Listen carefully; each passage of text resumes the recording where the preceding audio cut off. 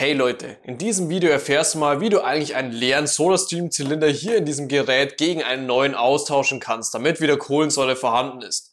Wenn du Bock darauf hast, dann bleib auf jeden Fall dran. Ich zeige euch den Wechsel jetzt mal bei meinem SolarStream Crystal, doch diese Anleitung kannst du natürlich für die anderen Modelle nahezu identisch übernehmen.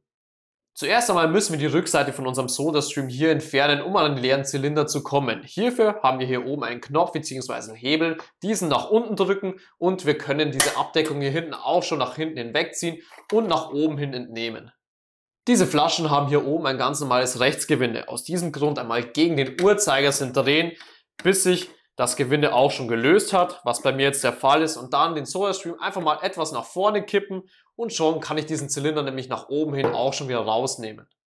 Die neue Kartusche hat hier oben jetzt noch so einen kleinen Verschluss, den wir erst einmal öffnen müssen. Hierfür diese Folie an der entsprechenden Stelle mal nach oben hin abziehen, ist auch schon offen.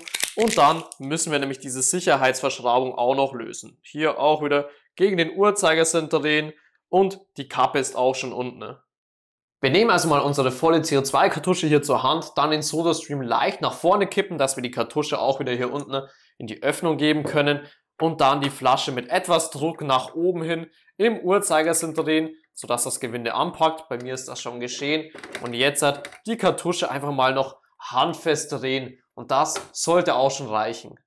Jetzt die Abdeckung wieder nehmen. Hier unten befindet sich so eine kleine Nase, welche zuerst einhaken muss. Ich schaue also, dass die kleine Nase hier unten in die entsprechende Öffnung geht. Ist schon geschehen. Und jetzt einfach mal Richtung SodaStream noch reindrücken, bis wir dieses Klacken hören. Denn dann ist der Haken hier oben auch richtig eingerastet. Jetzt würde ich das Ganze trotzdem noch auf Funktion überprüfen.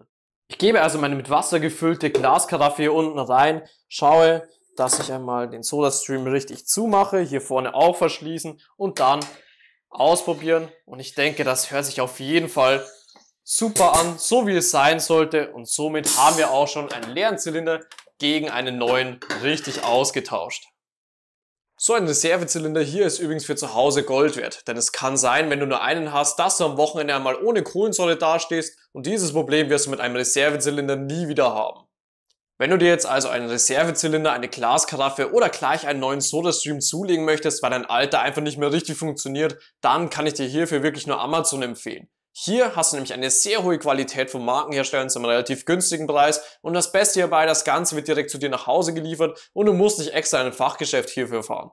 Wenn du dir also eins von diesen Untersiegeln hier zulegen möchtest, dann einfach mal hier unten drunter in der Videobeschreibung auf den entsprechenden Link klicken und du kommst direkt zu Amazon. Wenn dir das Video gefallen und somit auch weitergeholfen hat, würde ich mich natürlich über einen Daumen nach oben freuen. Außerdem kannst du hier oben meinen Kanal kostenlos abonnieren, um kein neues Video mehr zu verpassen. Und hier unten drunter gerne einmal ein Problem bei dir zu Hause in die Kommentare schreiben, wofür du einfach noch keine richtige Lösung gefunden hast.